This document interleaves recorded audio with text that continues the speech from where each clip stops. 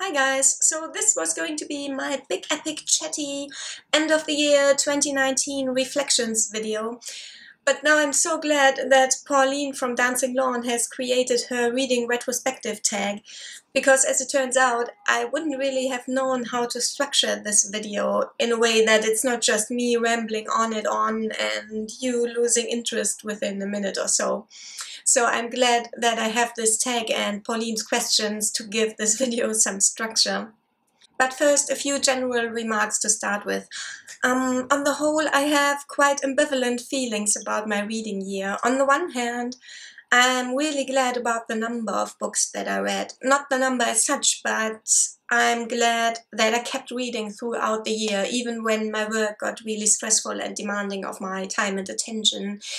And I'm glad that I kept up the practice of reading every day for pleasure mm, because mm, not only did it keep me sane, but I also downright feel like it kept me from becoming a non-person, as I feel like so many people in my field are, to be honest. However, I could have wished for more quality in my reading. I have read so much crap this year, and so many books that I picked up that turned out to be total trash came highly, highly recommended either by virtue of having won all the awards or because they are dearly loved by the internet. So I'm not listening to anything you guys say anymore ever again. no joking, but I do think that I have learned a lot this year about what to put my faith in and what to listen to and what to largely ignore. Some of my plans and intentions for a better reading year 2020 will come up in the tag, so let's get on with it. Pauline has asked us nine questions about our reading year 2019. And the first of these questions is, which book that you read this year would you recommend to anyone and why? And I think that this is such a hard question because, well, with fiction, it is always such a hit and miss thing. And a book that touched me emotionally and that I feel made me a better person, perhaps by touching me and by maybe making me feel empathy towards a certain group of people, might leave somebody else totally cold or might just not work for them style-wise. And of course, with nonfiction, there's always the chance with any one book that I pick that half the people who view this video have read 20 books on the same subject and will be able to tell me exactly why my pick is a bad book. but nonetheless, I did pick a non-fiction book. I picked this vintage mini on austerity. This book is composed of chapters from two books by former Greek finance minister and international left icon Yanis Varoufakis. And it is about why austerity measures don't work, or at least why they don't work towards the ends that the advertised ends that they are supposed to be there for, but how their real purposes are actually just to keep the rich rich and keep the powerful in power. This is quite a dense read actually and I think that in the two books that those um, the excerpts in this book are taken from, um, which are And the Weak Suffer What They Must and Adults in the Room. These books will probably have more in-depth explanations of economic terms and contexts. Um, but this is still a good starting point, I think, and a very important topic in our time. Question number two is which book that you read this year has taught you something new? And I mean, I guess with almost every book that you read, almost every book, you learn something new and you will read about something that you haven't read about before. But I have had really few wow moments this year, very few revelations. And I feel like I'm at a point in my life and my education where very few things will actually be really new to me and what I should have done would have been to read more memoirs and autobiographies because these by definition tell you something new because you are not that person that you are reading about. Um, when it comes to broader contexts, I feel like there's really, apart from hard science, there's very little that would be completely new to me. So this would be a resolution for 2020 to read more memoirs. But I didn't want to leave this question completely unanswered, so I picked A Brief History of Seven Killings by Marlon James because it taught me something or it made me read up on Jamaican history. On the other hand, history is my daily bread, so while I didn't know the details, the thing itself, by its nature, was something very familiar to me. So it's at the same time new and old. But for the next question, I don't even have to put my hand down because um, that question is which book that you read this year came just at the right time when you needed it, and that is also a brief history of seven killings. Because I picked that book up just um, at that point that my work started to become extremely stressful and almost monopolized all of my attention. And I needed something that I could pick up for an hour or so every day and get completely immersed in but that wouldn't make me feel compelled to keep reading all the time. And this book was just that because while it is very immersive it is also very intellectually challenging and quite exhausting to read. So after my designated hour each day, I didn't feel like I just had to go on reading this book, but I was actually glad to, to get a break from the book and return to my work, just as I was glad to be able to return to this book every day at lunchtime. Question number four is which book that you read this year will stay with you for a long time? But this question I will leave unanswered because I really can't tell at this point which book will stand the test of time. For instance, at the beginning of the year I read Tin Man back in January and I still think that this is one of the best books that I read this year, but at the time it made me cry so hard. I think I, I started crying on page three and I didn't stop until the end. But right now, when I look back on it, I, I feel hardly a thing. Like I said, I don't think that it is a bad book, but it just, it hasn't stayed with me emotionally to the extent that I would have thought it would.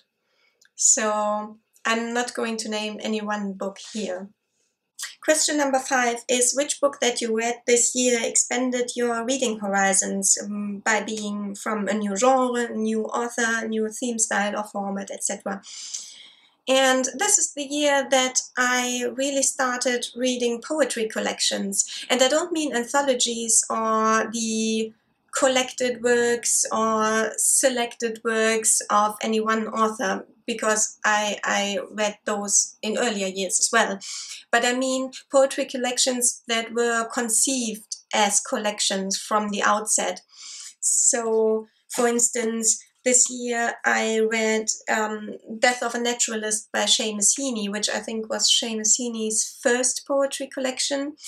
And I also read The World's Wife by Carol Ann Duffy, um, Serious Concerns by Wendy Cope, which is a very curious and funny collection, and Falling Awake by Alice Oswald. And I don't think that before this year I ever read any poetry collection that was conceived as a collection before. And I do want to keep doing that in 2020. In fact, I want to read much more. In the first half of 2019, I made sure that I read a poem every day, usually in the morning.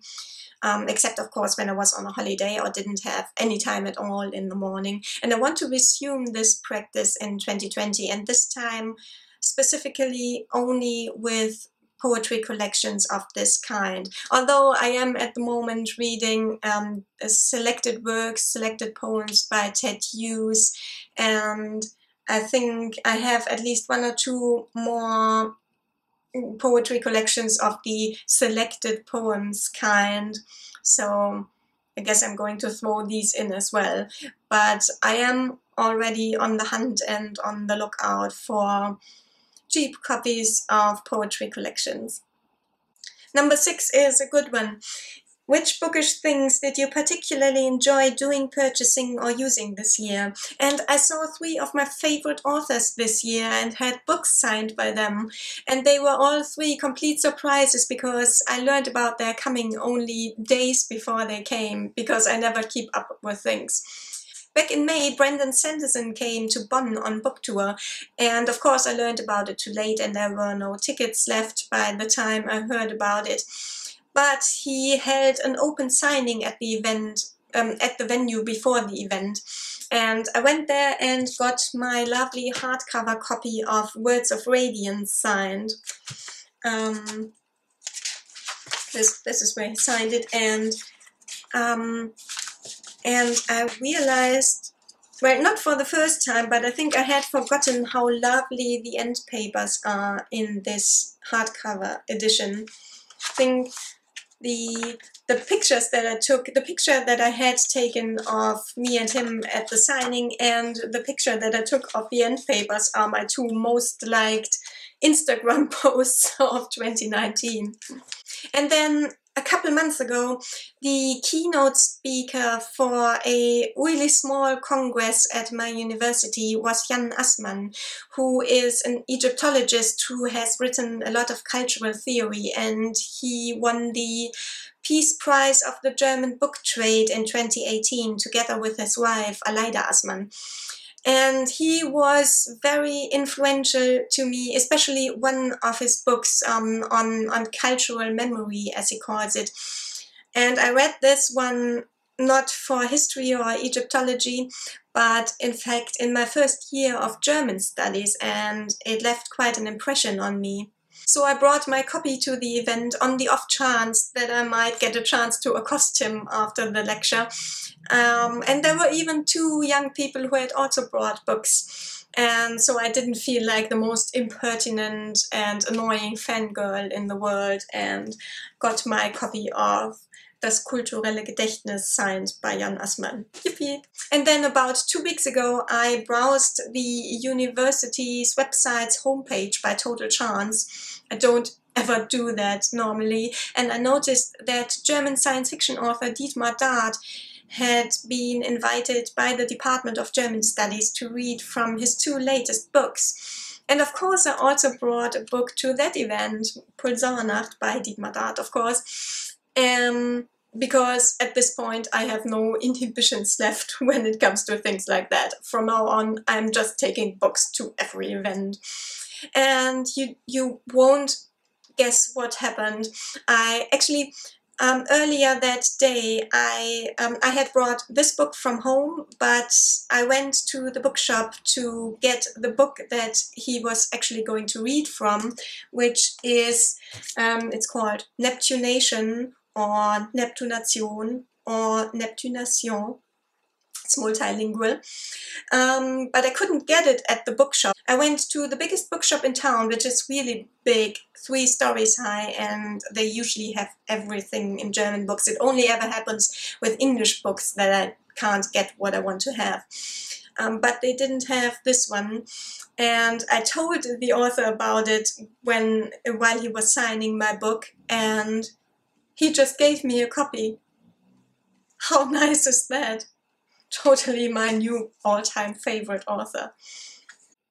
No, but seriously, I love what he does. And actually, one of the main reasons why I haven't filmed a favorite contemporary German books video is that Dietmar Dath's book Pulsarnacht, the one I got signed, would feature very high on that list. And of course, that one hasn't been translated into English. And that would be a shame, I think, if I gushed about this book in my video and only very few people who watch this video could even read it.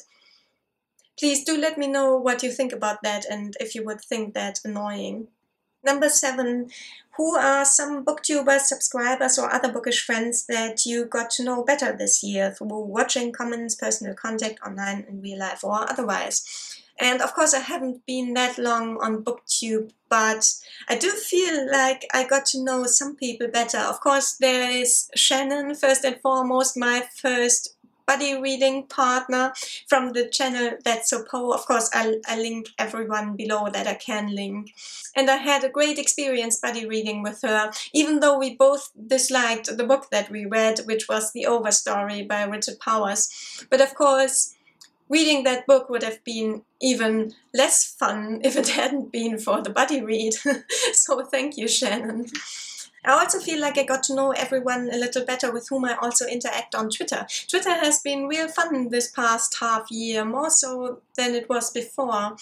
Um, and so there's Maria Hill, for instance, from MH Books, who hasn't made videos in a while, which is a shame.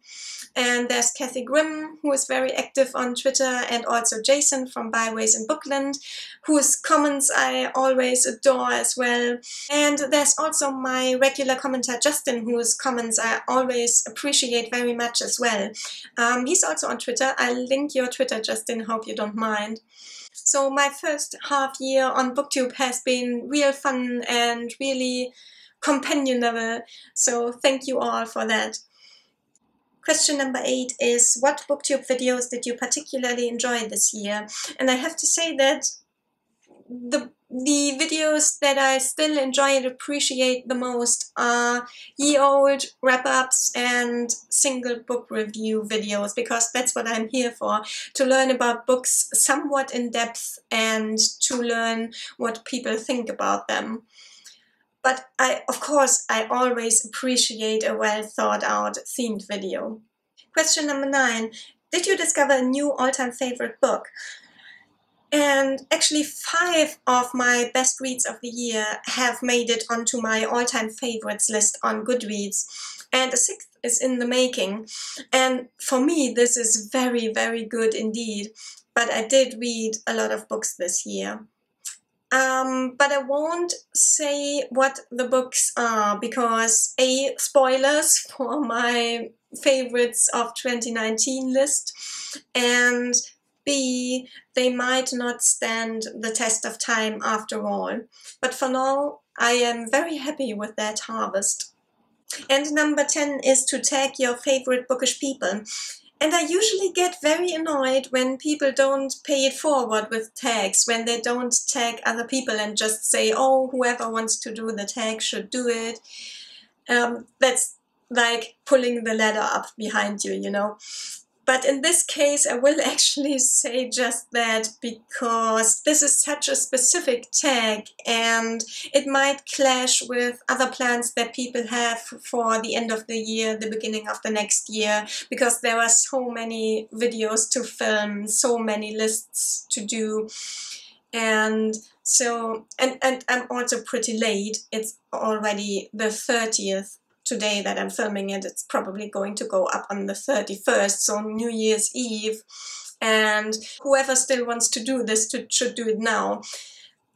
But let's make it a resolution for 2020 that I will do the same tag video earlier next year when there's still time to tag people who will then still have time to do this tag and to, to make it work with whatever other plans they might have. So I wish you all a very happy New Year's Eve, however you are celebrating it or aren't celebrating it.